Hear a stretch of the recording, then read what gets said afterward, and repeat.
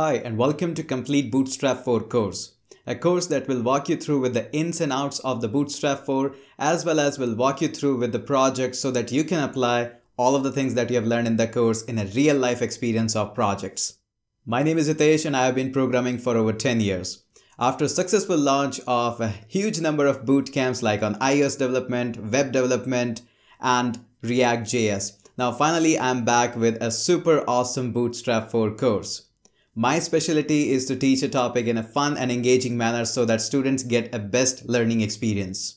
You will learn about the all ins and outs of the Bootstrap in this course and majorly we are going to focus on three main points that we'll be learning in this course.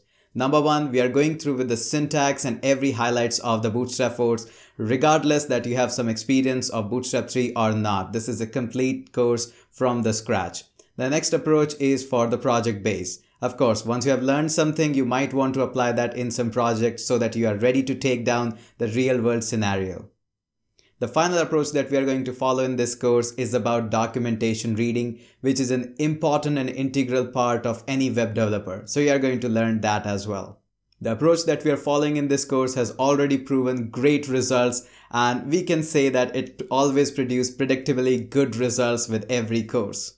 The ideal student for this course is somebody who is having a little bit amount of knowledge of HTML and CSS. And you might be asking, what is that little bit?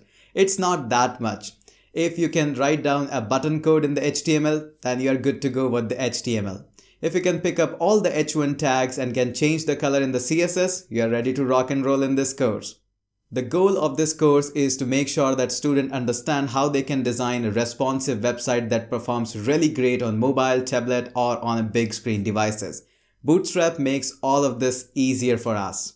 There is a lot that we want to cover in this course. So let's get on to the course and I'll surely catch you up inside the course.